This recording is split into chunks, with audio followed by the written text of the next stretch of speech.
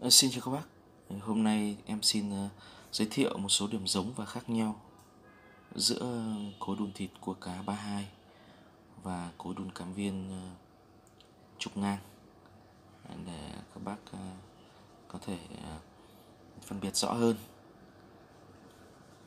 về hai loại cối. Đầu tiên thì là cái cối đun thịt của cá 32 thì nó sẽ có số 32 ở phía bên hông của cái ờ, phễu.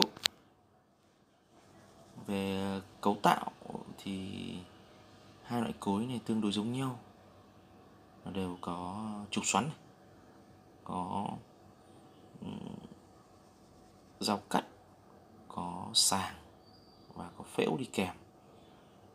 Và cũng đã có sẵn cái bu ly ừ, đi kèm. Về cái điểm ờ, khác nhau. Thứ nhất là về cái um, về cái cấu tạo của chất liệu. Là cối đùn cám viên trục ngang thì bằng thép. Còn cối đùn uh, thịt cua cá bằng uh, gang. Cối đùn thịt cua cá 32 thì đã có sẵn bệ.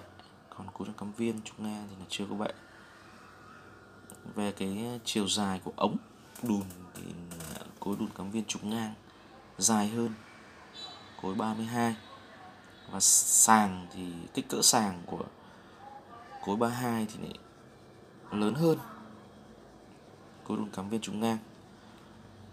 Về mục đích sử dụng thì là cối đùn thịt của cá 32 thì để đùn thịt cua cá, của gà.